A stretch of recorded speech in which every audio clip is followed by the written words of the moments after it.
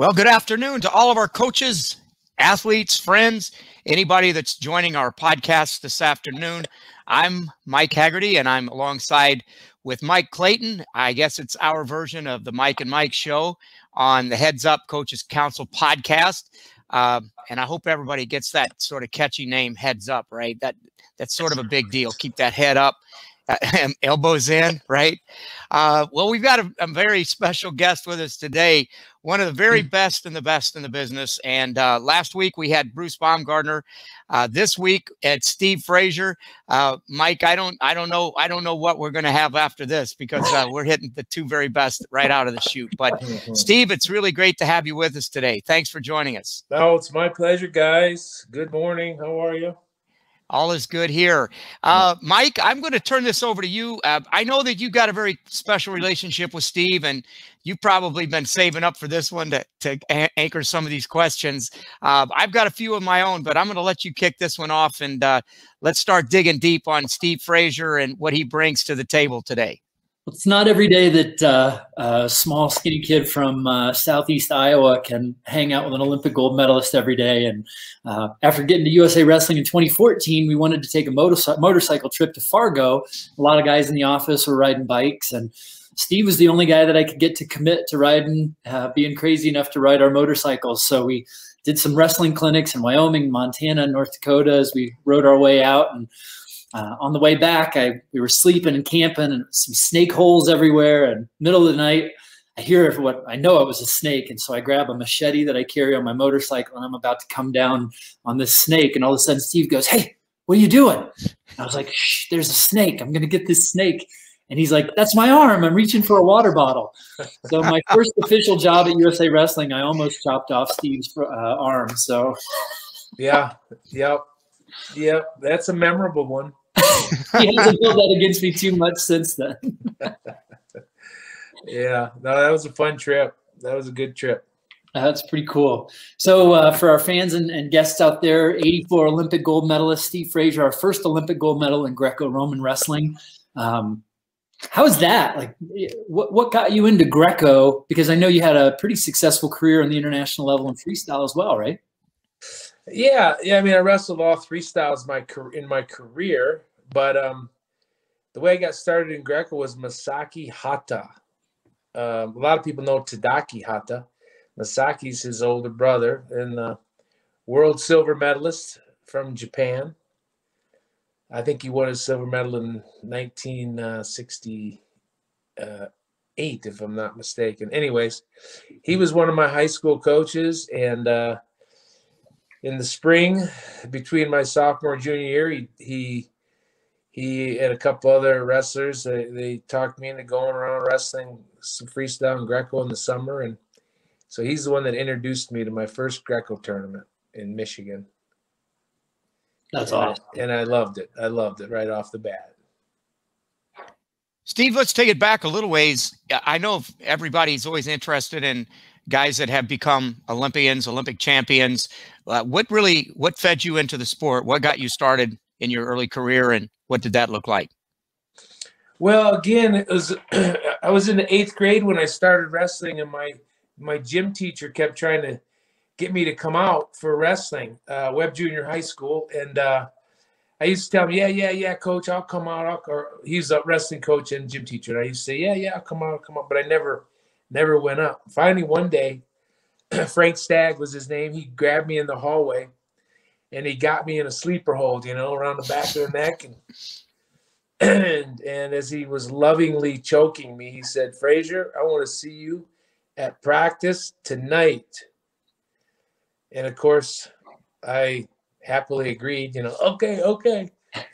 And I went up to practice and, uh, again, I loved it right from the start. I love the sport of wrestling. I love the physicalness of it. I love the sweat that you got from it. and um, I love the strategy part of it. I wasn't very good when I first started, but um, you know, but then through his great coaching and other great coaches that I was blessed with through my early days, I became you know pretty decent at it. Steve, I think if I remember right, there was sort of a flip with you and Mike Houck and and how you came about into the USA wrestling circles as a head coach for the national team. Uh, can you fill us in a little bit on how that took place and what brought you into USA Wrestling as our national teams coach? Yeah, so I was with Domino's Pizza for ten years, and uh, you know, working in in operations and running pizza stores for Domino's at the time uh, and Mike was the national coach, and um, uh, at the time, uh, I forget what year it was, in '95, I think. Uh, he was making a move from wrestling. He, he was going to leave as the national coach, and he actually called me and said, "Steve, I'm I'm going to be leaving. Uh, might you be interested in the job?" And it just so happened at that period of my life, I was doing a lot of thinking about wrestling, and I'd been in the business world and the pizza business world for a while and and so I'm like, yeah, yeah. Anyways, uh, long story short, uh, Mike, um, I interviewed with Mitch Hull and Jim Scherr, and and uh, I wasn't sure if I wanted to leave the business world, and uh, but I did. But I, I went and talked to my vice president, the, uh, the, the guy I worked for at Domino's, and it was the year before the Olympics, the '96 Olympics. So I'm like, hey, you know, I'm, I'm thinking about exploring this uh, coaching job. What do you think? You know, and and he made it easy for me. He's like, Steve, uh, why don't you go do it for a year through the Olympics? And if you love it, wonderful. If you don't like it, I'll bring you right back and put you right in the same spot, so you won't lose any ground at Domino's. Um, and so. Uh, yeah, so it made it easy for me to, to take the job. And of course, I took it and never looked back. And then the switch was Mike Houck just happened to be looking for to do something different as well. And so I connected him with the people at Domino's. And he ended up entering the management training program at Domino's, uh, where he actually moved to Ann Arbor, where I left from. So we switched cities.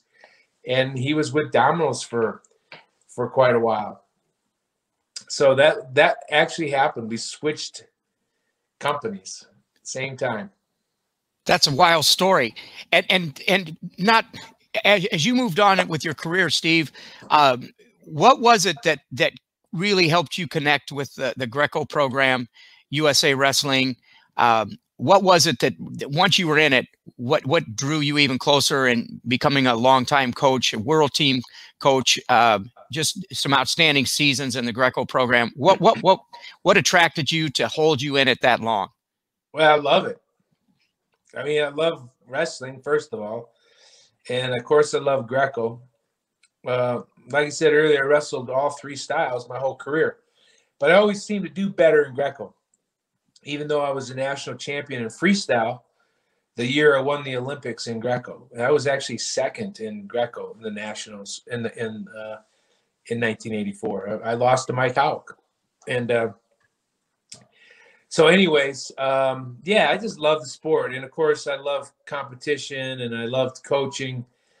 You know, being at Domino's for 10 years, I learned how to try to motivate people and coach them and teach them. And, and uh, of course, all that relates right to athletics too. So, yeah, I guess that's why I did it for almost 19 years. I've got one more, and I'm going to turn it over to Mike. I, real quick, Steve, the question that I have for you is that to me, that Greco, it's a tough man sport. Not that freestyle, not that folk style isn't a tough man sport, but it just seems to be a higher level of intensity of, of just toughness that goes with Greco. Um, can you speak to that a little bit? I know that uh, you know being out at the Olympic Training Center and being around some of the national team guys just watching some of the practices and being in the room, the intensity that Greco brings, it just it's it seems a little different. What is that? What what what's it what's that all about? Well, they're all tough, right? they're all they're all uh, extremely tough in their own ways. I would never say Greco was tougher than freestyle as far as that goes, but the reason it, it seems tougher, I would say, is because it's chest to chest. You're you're in contact with your opponent you know, 99% of the time where freestyle, you're, you know, you're bouncing around disconnected with each other for part of the the wrestling match. You know, you're connected a lot too with hand fighting and so forth, and tying up. But um, in Greco, it's all chest to chest. So in that regard, it is intense, more intense. It's physical, like nonstop, chest to chest, pummeling, underhooking, snapping, locking, physical actions. And that's appealing to you? I guess. I mean, I guess it is. Yeah. I mean, the funny thing is, I wrestled freestyle, and and and um, I really didn't change my style that much. I mean, I I wrestled the, almost the exact same personal style.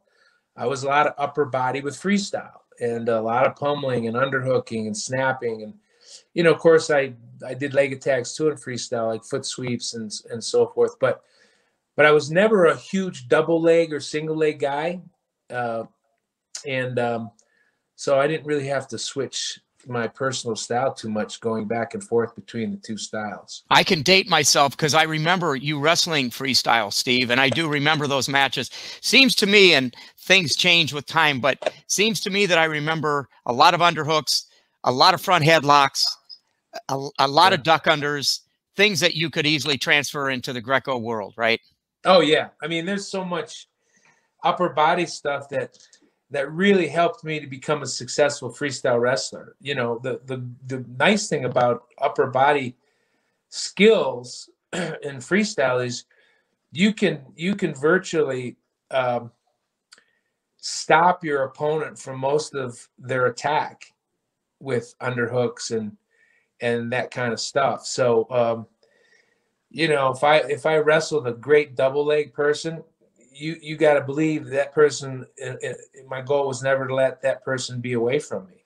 I was always going to be underhooking them, tying them up, snapping them, pushing them, pulling them, arm dragging them, that kind of thing, so that there was never any too too much space between the two of us. And of course, what helped me personally in freestyle too uh, uh, is uh, you know you have to be good at, at, at leg defense you know double leg defense. And so i became pretty uh, good if i say so myself at defending leg attacks. If someone got a single leg on me or double leg jamming the head down and, and sprawling and jamming the guy that became a, a, a strong uh, skill for me.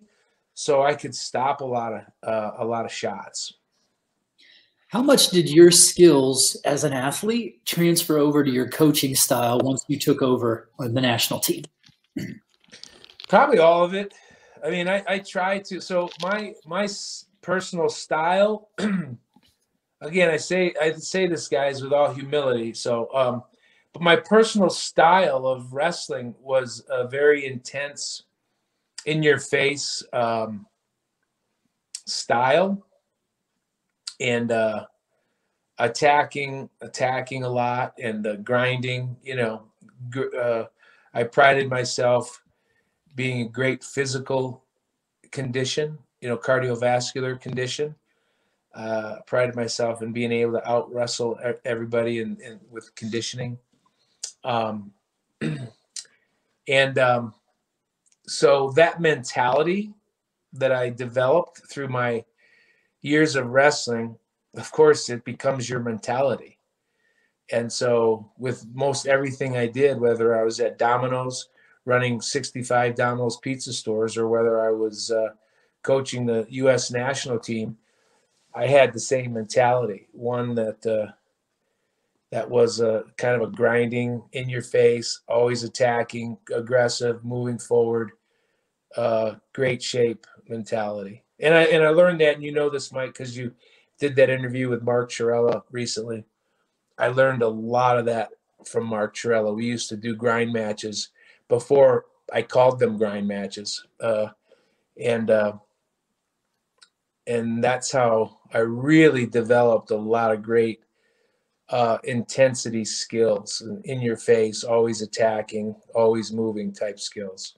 How did the athletes feel about that grind match mentality? I mean, I can't imagine when you take over coaching, we haven't had a whole lot of success necessarily in Greco, like we didn't have a lot of, you know, a ton of champs and stuff like that. But all of a sudden you walk in and, and now you've got a room full of athletes that may or may not buy into that mentality. How, how did you create that culture of intensity that, that helped to go on to win a 2007 uh, world title?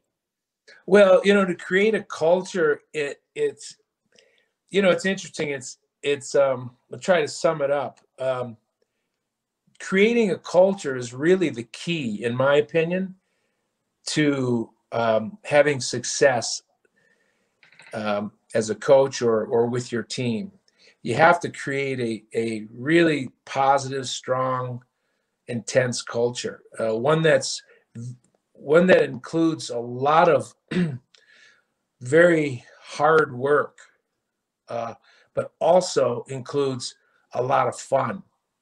And you know, a lot of people might not think that you can work really hard and have fun, but I beg to differ that you can. You can have fun training very hard, and uh, but it's just that mentality. You have to, you have to uh, walk the walk, talk the talk, walk the walk, and and so, you know, in reality, who knows if? I mean, I, I always had confidence that we could be good in Greco, you know, because we have the great athletes, you know, but we were so far behind the world in in technique and and and experience.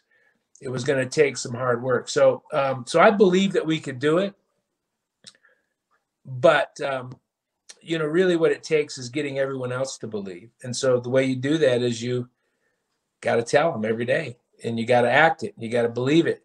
You can't fake it. You got to truly believe it because people will see right through if you're trying to fake something. So I don't know if that answers the question, but it's just acting like you could be champion. And then, of course, what helped us, I got us together with all the foreigners. I brought foreigners here all the time teams, Sweden, Turkey, Russia, Japan, uh, you know, all kinds of different Cuba, you know, and uh, and it's that getting those those our best uh, toughest opponents in the same room with our guys um, helped helped uh, helped them to build confidence through either getting their butts kicked a while and then getting tired of that and stepping up and starting to kick some butt or just learning the stuff from their opponents you know. So taking the kind of mystique away from these guys as well the, the you know our foreign opponents steve can we get back there to where we were in 2007 and if we can i guess my question would be what will it take how far are we away what where are we at with greco right now oh we get back there for sure no question about it. You know, Matt Lindland, national coach, and Gary Mayabb uh, and um, Mohammed. Uh, I think they're doing a good job in our country. Um, you know, it takes. Let's face it, we are not a Greco country, never have been, and probably never will be, uh, hundred percent. But um, it takes uh, overcoming some other challenges that we have, you know, and getting more and more Greco guys to to stay in Greco. And to be quite frank with you, I'm not blaming anyone or freestyle or anything, you know, but with the with the regional training centers all over the country now, that incentivizes uh, a lot of would-be Greco guys um, to stay wrestling freestyle because they stay in the regional training center, they get paid they get some incentives. They get to stay home with their girlfriends or their wives or their families and train with their their their college uh, team that they that they uh, competed with as a college uh, athlete. And so that has made it a little tougher for Greco because it's harder to get the guys that used to be really good in Greco through high school. They go to college and they and they wrestle college for four or five years and they still do some Greco spring and summer. And now they come back to Greco once they graduate college.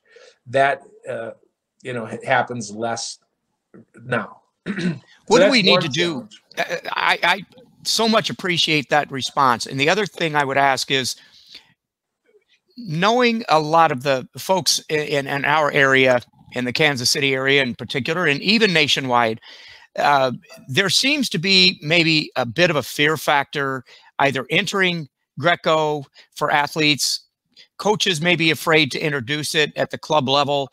Uh, their, their, knowledge of folk style transfers over to freestyle a little bit more. Uh, what do we need to tell these coaches uh, in order to get them eh, more in line and comfortable with um, working Greco into their programs, working Greco into their clubs? You know, that's a that's a really good question, and it's been a question for you know, for the last 25 years since I've been back with USA Wrestling, we've been preaching and talking about the benefits of Greco to college coaches and high school coaches uh, for 25 years. 25 years we've been preaching that. It's very, what I've come to find out after 25 years of trying to convince people, it's difficult coaches, a lot of coaches know what they know. They're good with what they're good with. And they're and, and a lot of them aren't so apt to expand and try to really delve into Greco because they're they're afraid of it because they don't know as much about it as they do folk style or freestyle. And it's easy for them to just stay the path, stay the path with, with what they know. That's that's the only thing I can really say because, I mean, come on, for 25 years we've been doing all kinds of things trying to convince people Greco's good, Greco's good. It helps with this, it helps. When push comes to shove, a college coach is measured on whether he wins the NCAA or places high or gets NCAA All Americans or not. And they feel, I'm assuming, they feel that they got to spend their time, the limited time they have, teaching their kids the skills that are going to help them win uh, in college at the NCAA. And they don't necessarily see as, you know, learning upper body techniques, uh, especially if they're not that familiar with them themselves, you know, they don't see spending a lot of time in that as a good way to spend the time. You That's know what's exciting? What's really exciting to me is like going out to the training center. Arguably, you know, uh, let's say half the time is devoted towards freestyle orientation for our developmental camps, half the time towards Greco, uh, and, and I'm definitely leaning towards you know working more with the freestyle guys and i look over my shoulder lo and behold the kids are most fired up about greco they love to learn Greco. They love to pick guys up and throw guys. They love the fact that they're learning new strategies, new techniques. It would be sweet if we could believe that we could somehow create that same excitement in the clubs when they get back home because you definitely see it at the training center that uh, I think the guys are most excited about the Greco sessions. Yeah, yeah. Well, there is something that's really fun and cool about throwing people, right? And um, it's exciting and fun and and you know it's so much gets, the landing but the, the throwing is real yeah, good. Yeah yeah and uh and you know and you see that i mean even you go to the olympic games a lot of times the the fans again not taking anything away from freestyle. I love freestyle's great but there's something about throwing people that brings fans to their feet you know and so so it's cool. But um but again, let's face it, kids are influenced by the by the people that they're surrounded with daily. And if and if I didn't have Masaki Hata taking me to my first Greco tournament, he wasn't a Greco wrestler, he was a freestyle silver medalist. If I wouldn't have had him taking me there and and encouraging me in Greco, you know, I wouldn't have been a Greco wrestler probably. Who knows, you know. So it's it's a tough again, not blaming anybody. It's it's the culture, it's the wrestling culture we have in the United States of America. You go to Russia, it's different. Greco is maybe number one there. You know, freestyle is pretty number one too in Russia, but a lot of those Eastern Bloc countries, Greco is the number one sport, and freestyle is the number two. So uh, we just have special challenges here. I mean, it's been that way. It's going to be that way forever, probably. Who knows? but um, we can overcome it. We proved it. We won the world title. We proved we can be the best in the world. That means we can do it again. I heard when you interviewed for the job, Jim Scherr had a comment to everybody before they hired you that kind of put you on top of that job. You well, it's funny because Rich, Rich, Rich, Jim never told me this, but Rich told it to me uh, years later. When I interviewed, you know, I came in with a plan and you know goals, and here's what I think we can do, and and uh, I guess that when the interview was over, uh, Jim Scherr told Rich Bender and Mitch Hull that uh, I think I think he said something like, "Dang, we gotta hire we gotta hire Fraser as our national coach. He he he really thinks we can win in Greco." Meaning they didn't he didn't even believe it that we could win in Greco. So um, yeah, it's been the it's been our story our story forever in Greco. We're always you know the redheaded stepchild sort of uh, in in wrestling in our in the in this country. But uh, you know, it is what it is. You gotta you gotta take what's what it is and figure out how to win. Steve, tell us a little bit about your book. What inspired you when you wrote your book, and and what was your message? My book. Yeah, shameless not, ad, shameless prop here. I just don't. I just happen to have one right here. swear, swear, I didn't plan that. But uh, my book, Victory, see, Victory, um, being tough, being mentally tough on and off the mat. Um, you know, what inspired me is, is Mike Chapman asked me to write a column for Win Magazine. And so I am a ham and egg writer, man. I was not one of my best skills. And uh, I was really reluctant, but he said, I'll do it. You know, you know, whatever, just try it and blah, blah, blah. It'll, it'll help you become a better writer, which it did. So I started writing a column for Win Magazine. um, so I was writing probably about, I, I, think they were back then it was eight issues a year or something, maybe 10. I can't remember. But um, that's how I started writing. And um, after I did that for about three or four or five years, um, Mike Chapman even suggested maybe I write a book and use some of those columns, you know, take from some of those columns. So anyway, so that's kind of what I did. I had a I had a desire to write a book and share some some of the story of my wrestling life and other and my athletes wrestling life. And so I wrote the book. And uh, that's it. Victory. So how does somebody get one of your books if they don't have one?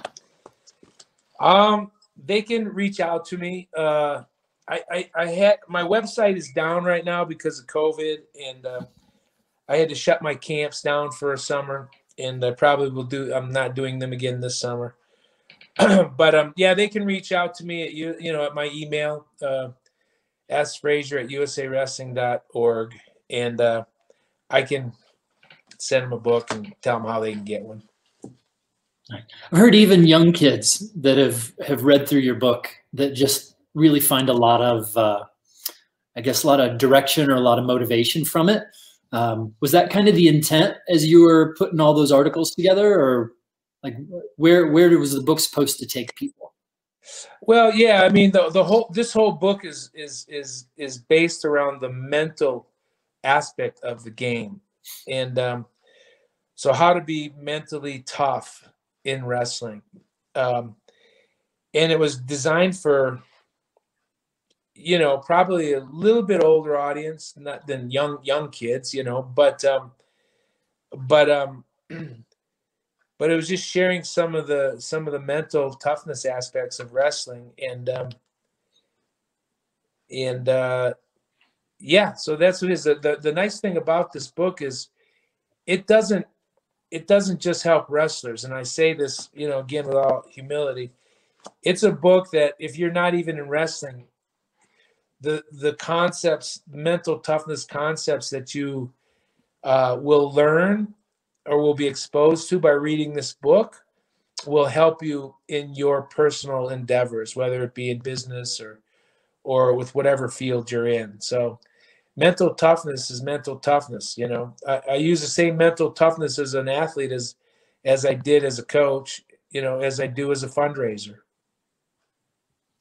Steve, what do our, our young coaches out there that are uh, coaching Greco right now, what qualities, what do they need to be bringing to the table to their athletes to get them to the to the highest level that they can? I mean, what is it that that excited you, uh, other than your love for the sport, which obviously grew over time, but th- these young kids that are starting and dabbling in Greco, and you've got young coaches uh, in the clubs what would you tell these guys? What would you tell them in in regards to uh, what you learned from your journey that they might learn?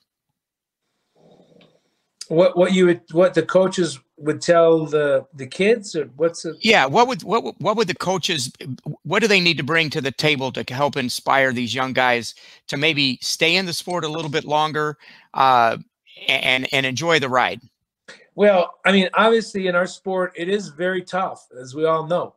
So you have to you have to make the, the sport fun. Um, to keep young kids inspired and involved, it has to be fun, I believe.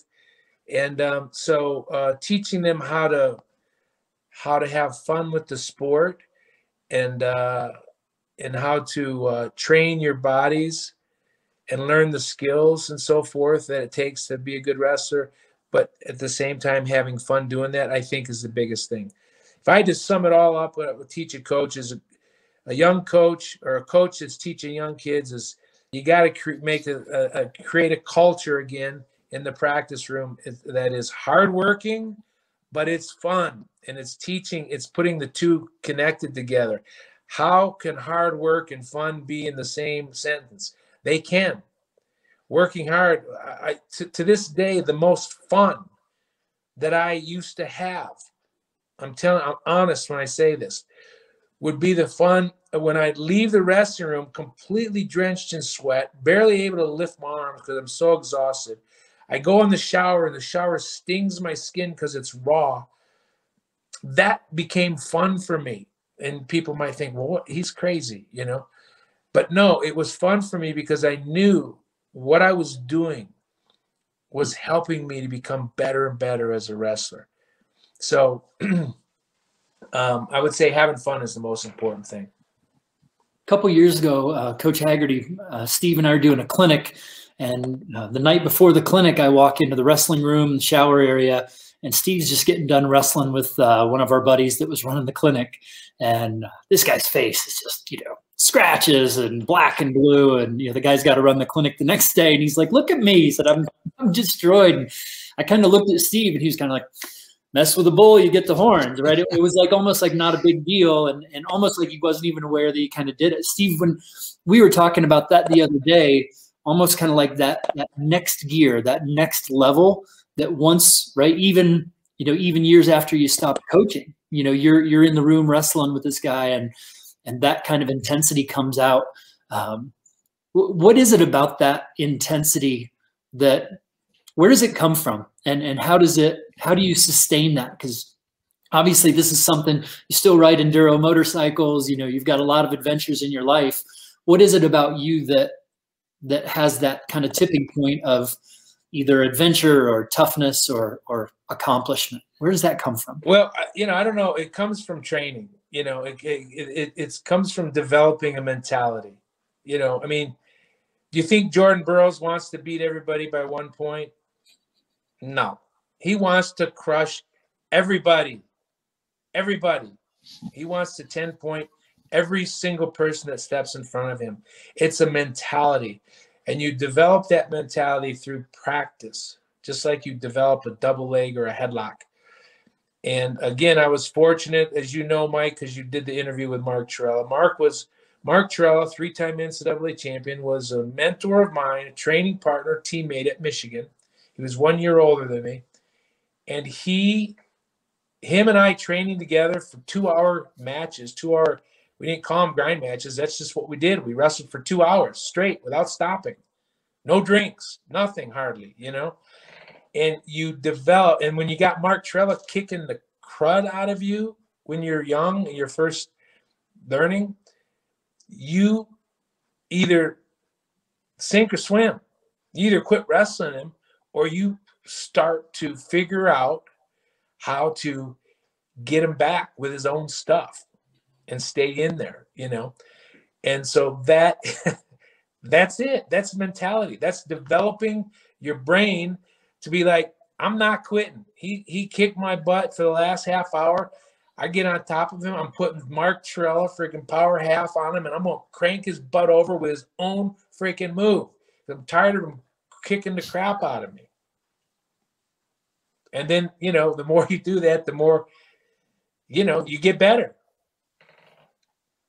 I don't hey. know if that answers. I don't know if that answered your question, but I think it's a peek through the window for sure. Yeah, I mean, mentality is is uh, everything. Burroughs wants to beat everybody by ten points, and so does so does everybody. Every good wrestler, they don't just want to win; they want to crush people. You know. Steve, you mentioned uh, earlier as well uh, a lot, and you brought this theme throughout this um, interview. Talked a lot about having fun, and one of the things that it, it caught my eye that the Greco team uh, oftentimes is engaged with fun activities during practice, before, after practice, certain days, just maybe playing dodgeball or something in the room and keeping it light. Um, tying that into the concept of recovery, how much time do you feel has to be spent on hard intensity, just going tough in the practice room versus those days where you have to come in and recover because it is such a tough grinding sport. Uh, how did you see that as a national teams coach, and how would you reflect that towards um, some of our younger coaches today? So, Mike, that's a really, really good question because, you know, we all, we all talk about hard work, hard work, hard work, and it, and we all know as wrestling coaches, it takes hard work to become a good wrestler and to have a championship team. But it also is just as important to have hard recovery and I say hard recovery, that's equal recovery. And I'm not saying 50 50. You know, we don't have time to go into a periodization strategy here unless you guys want to, but periodization is, is how you're peaking for the main event at the end of the year. And in different phases of the of the of the season, your your your periodization calls for different types of training. And anyways, it always includes um, my training always included active rest and real rest. And uh, without, so tearing down your body through hard work and training does just that. It tears down your body, makes it tired. You lift a lot of weights, your muscles get really tired. Where the growth takes place is when you're resting. When you rest those muscles, now they grow, they they repair, they strengthen because they're like, this idiot's going to put us through this workout again coming up here. We got to build and get stronger so that we can take it. And then what do we do as coaches or athletes? We we work harder and tear down the muscles again. And then our body recovers again. So active rest and rest is really important. and that's a really uh, an important part of a coach's responsibility is to is to understand the relationship between extreme hard work and active rest you know so yeah so you know for, for, for as a general kind of a training schedule really general uh you know we tried to train I, we tra- trained two two times a day at least monday tuesday Wednesday was always our active rest where we did some basketball or some activity off the mat. One practice and like then the afternoon was off, rest completely. And then Thursday, Friday, two practices, two practices. And then Saturday, active rest, one practice, something fun outside, soccer, whatever, frisbee, football, uh, swimming. And then Sunday, rest day of rest. Uh, as a general rule, that that is a in my mind a, a general good training schedule. Hard Monday, Tuesday with with four practices, two and two. Wednesday active rest, hard Thursday, Friday, Saturday active rest, Sunday completely off. And that's certainly not real conducive to a lot of ways that uh, the typical clubs can train, nor high schools or even colleges when they train wrestlers, not specific to Greco. But it's difficult to train that way simply because you have such a compressed season and everybody's trying to get as much practice time in as you possibly can. Um, I guess, you know, with our national team, uh, being a little bit different that you can focus on you know those specific international and national events and target those and so you can build those training schedules around that. I, I guess where i'm going with this is do you believe that to some extent uh, we overtrain in our sport? Is that something that we do frequently in maybe the other sides disciplines of folk style freestyle etc uh, no, I, I, don't think we tend to overtrain. I mean, I, I, I think you can overtrain, and some coaches maybe uh, make mistakes and overtrain their athletes at times. But keep in mind that schedule, that general, very general schedule I just said, that's what we did at University of Michigan when I was in charge of training. Mm-hmm. So you can do it in college.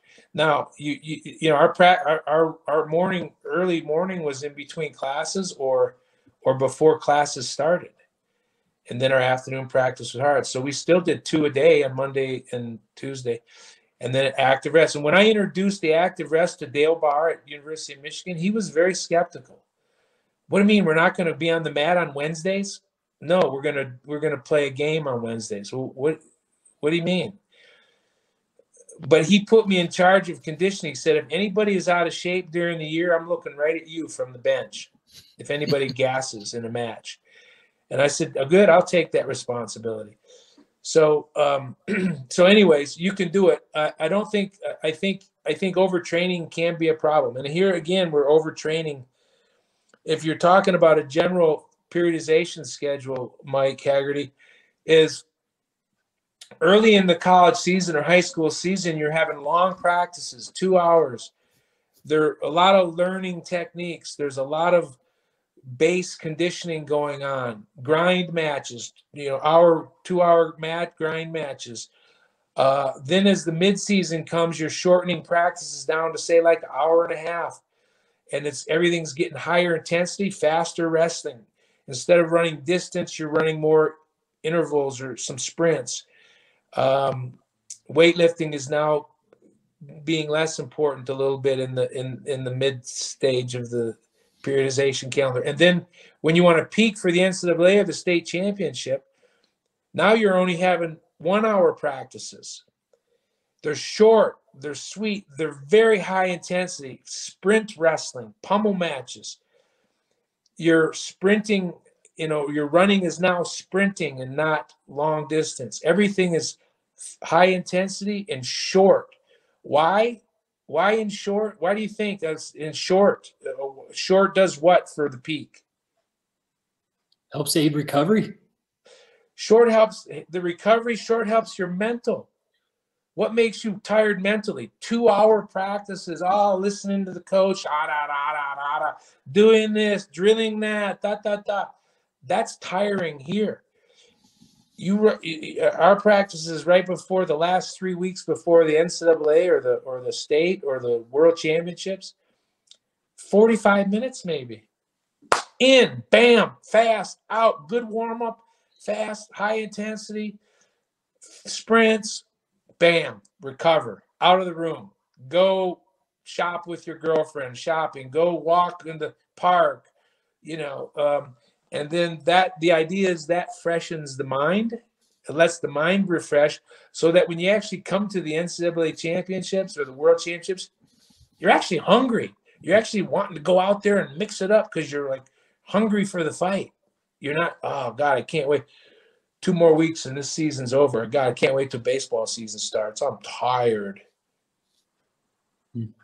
When we were traveling around uh, on that fargo trip you would show your gold medal to a lot of the athletes and you would talk to them about what it took you to get there and some of the challenges that you had when you walked into the Michigan room and um, even to the point where you weren't sure you were going to stay with the program. Could you kind of share a little bit of that story? I, I, I, know the impact that it had on me getting an opportunity to hear it.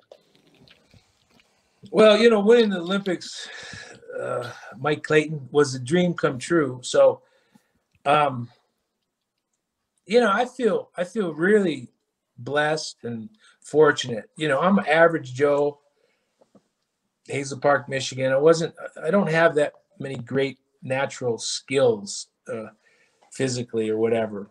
Um, but um, so sharing that that medal or that victory, I mean, it's always fun for me because I mean, the main message message that I hope I that I share with young people is that, hey, if I did this, anyone can do it.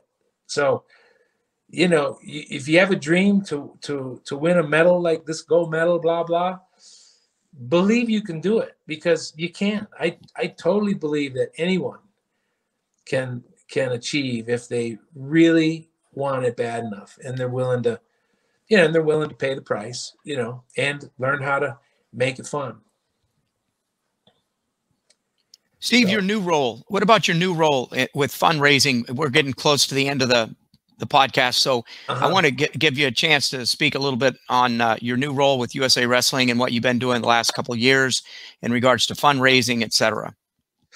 Yeah, so I love fundraising. Um, you know, basically, fundraising is is uh, is relationship building with with uh, people that love the sport of wrestling and so it's been really fun for me to be involved with fundraising for about the last five years. And um, the, the the great thing about fundraising in wrestling is that we have so many, so many very generous, uh, kind uh, people out there that have that have had success in business and finance and so forth. And um, they truly believe that the sport of wrestling for the for the ones that have wrestled which is most of them they believe that the sport of wrestling was the key component of them being successful in business. And they attribute their success in business to the things they learned in wrestling like the discipline like making sacrifices like getting the job done no matter what you know and um, and so that's been really fun because even through the pandemic, tough times for everybody, no doubt. Um, we've had our, you know, uh, most of our wonderful supporters have stuck with us and and uh, and continued to support uh, all the programs at USA Wrestling that their generous dollars go go for. So fundraising has been fun. I, I love it. Mike, anything else before we close it up? No, thanks a lot, Steve. It's always great to get a chance to share some time, and uh, hopefully our weather will turn a little bit warmer and not quite two feet of snow like we're getting this weekend. We can get back out on the bikes. Yeah, I'm wondering. I don't see it snowing yet, but it's supposed to snow a couple feet here, so we'll see. I just yeah. I think we're supposed to get a little rain back here in the Midwest, but uh, not not near the snow that you guys are supposed to get. But Steve, I can't thank you enough. It's always an honor, a pleasure to to listen to you give us some insights on your career, uh, both as an athlete, coach, and now in your new role at USA Wrestling. So much appreciate you and what you've done over the years. Uh, we've got some really exciting wrestling going on right now. We're getting ready for the obviously the NCAA championships in St. Louis, just down the road from me, about three and a half hours. So uh, looking forward to seeing the NCAA's, and we've got our Olympic trials coming up the first week in uh, April. So lots of stuff going on. Yeah, yeah. As far as the NCAA's, I'll say go blue. go as, blue. As far as the Olympic trials, yeah, the trials, the Olympic trials are going to be the event of the of the century, maybe, you know, with the, you know, with the matchups that are going to take place there uh, in Fort Worth. It's going to be an event that, uh, dang, I hope everyone can experience. Yeah, absolutely. Well, again, Mike, thanks for joining on, and and Steve, again, thank you so much, and uh, thanks to all of our coaches and athletes and friends that have joined us on Heads Up today. And we'll be back in a couple more weeks after this. Talk to you later. Bye-bye. All right. Thank you. Thanks, Steve. Bye bye.